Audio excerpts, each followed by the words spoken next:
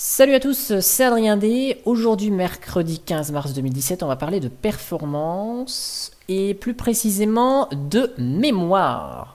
Mhm. Parce qu'en fait, dans les précédents tests que j'ai faits, euh, je me rends compte que euh, certains chiffres sont différents suivant les moniteurs système utilisés. Alors, on va essayer de faire un petit jeu. Enfin, petit jeu. Il est vite vu le jeu. Hein. C'est, c'est quoi? C'est si euh, on veut bien aller sur outils système, voilà, c'est de lancer plusieurs moniteurs système, celui de KDE, sur ma machine. Et on va, en fait, on va tous comparer les valeurs. Mais pour comparer les valeurs, eh bien, il faut qu'ils soient tous lancés en même temps. Et ça peut être intéressant comme jeu. Donc, je lance le moniteur système de KDE. Je lance le moniteur système de Maté. Voilà. Donc, par contre, on ne peut pas réduire comme il faut. Voilà. Je fais la même chose pour le moniteur système de GNOME. Alors, je vous montre hein, que entre Maté et GNOME, c'est exactement la même chose. Voilà. Donc, euh, je ferme celui de GNOME et je ne vais pas l'utiliser. Je vous lance le moniteur système de euh, XFCE. Voilà que j'ai mis en octet pour qu'on se rende bien compte. Je lance une console avec HTOP. Hop là. HTOP. Et, euh, et voilà. Et, euh, et, je vous lance une autre console. Donc je vous montre juste que Top là, euh, lui, précise bien tous les types de mémoire. Donc je vais pas l'utiliser. Alors on va faire comment? On va faire comme ça. Non, on va faire comme ça, comme ça, comme ça. Et puis, je vais vous lancer donc la commande free, parce que ce sera la commande qui sera, qui sera utile pour nous. Déjà, pour vous expliquer un petit peu ce que, enfin, les mémoires en fait qu'on a euh, dans, euh, dans Linux, ce que ça, ce que ça signifie, tous ces petits, ces petits jargons. Alors, hop, on va essayer de faire ça, voilà. Donc, free-m. Et puis, on va faire un petit watch, histoire de rafraîchir le truc assez régulièrement un zoom arrière, voilà. Donc, voilà. Ici, avec free-m, on a pas mal de euh, d'infos. Donc, total, c'est la quantité mémoire euh, physique totale sur la machine. Donc ici, 7864 mégas, euh, donc ça fait 8 gigas. On a utilisé, donc utilisé ou en anglais used, c'est la quantité de mémoire physique consommée par le système dans son ensemble c'est une soustraction de total moins euh, libre moins les buffers et le cache. Voilà.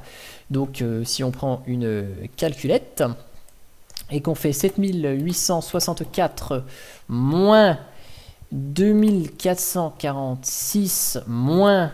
Alors ça a bougé le truc. Euh, cache et buffer, donc 16, 16. On obtient 3000 802. Euh, donc là, voilà, ça, il y, a un chiffre qui a changé entre temps. Donc voilà, ça, c'est bien la réponse à la question.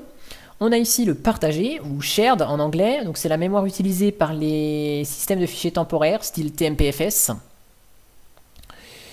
Euh, buffer et cache ou tampon et cache ici en anglais c'est euh, la mémoire utilisée pour euh, optimiser les performances du système. Hein. Donc c'est de la mémoire qui peut être rendue disponible à tout moment. De manière globale, je lance un programme, je le ferme. je vais avoir plus, enfin moins de mémoire libre parce qu'en fait il va rester des éléments dans en mémoire, ce qui fait que si je relance une deuxième fois mon application, c'est plus rapide à lancer. Euh, après, si on lance trop d'applications et qu'on ne relance pas notre première application, euh, ces composants qui sont chargés en mémoire vont se libérer.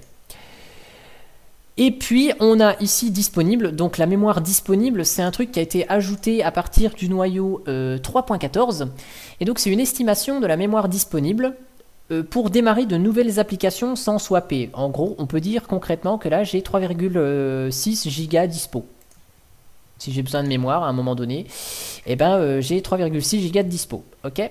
Ok.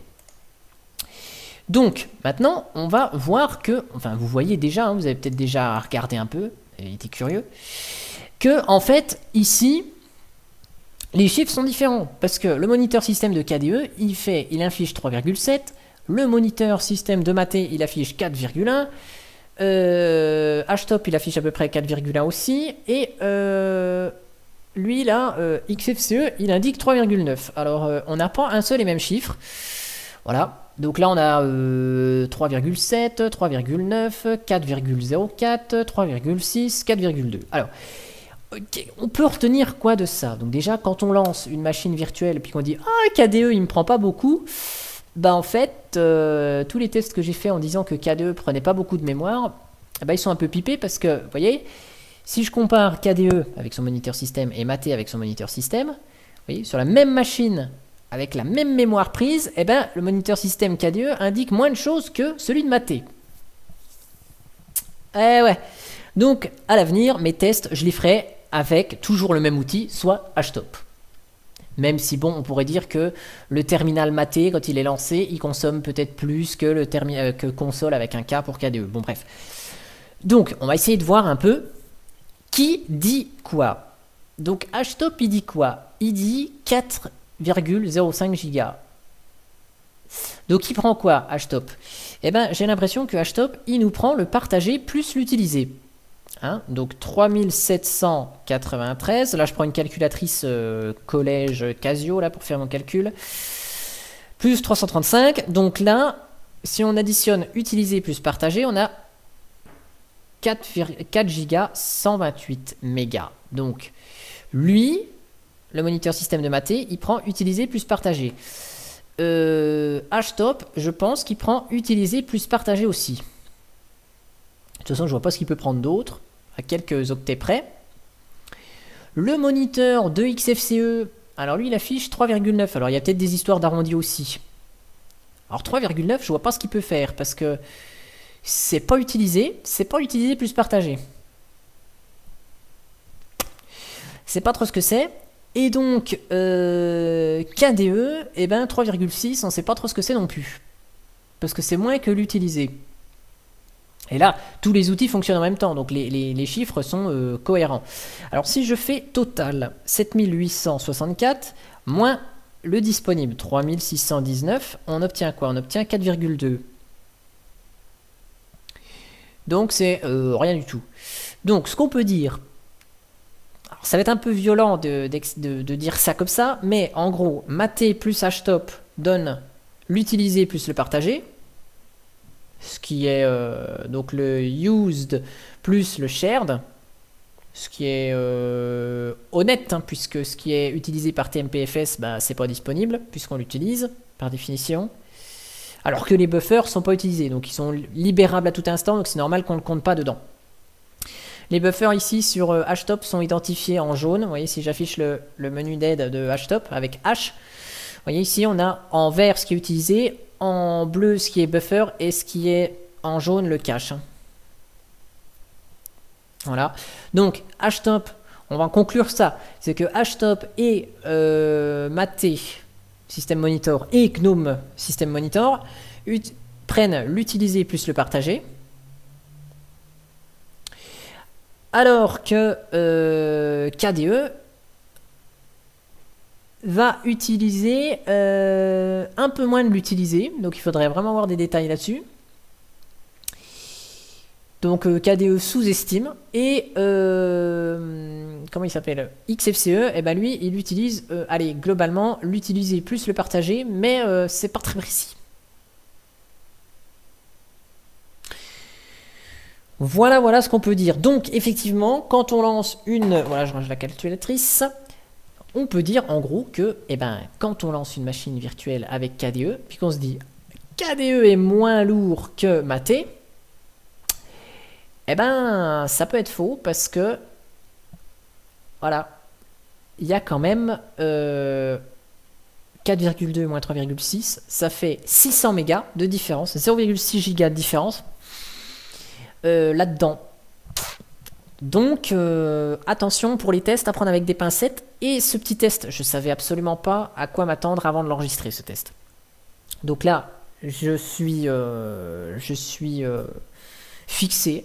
Je vais toujours utiliser le même indicateur pour tester un environnement de bureau ou si je veux dire voilà le système prend X mégas au démarrage, et eh ben j'utiliserai toujours le même outil, à savoir Hashtop qui globalement prend l'utiliser plus le partager.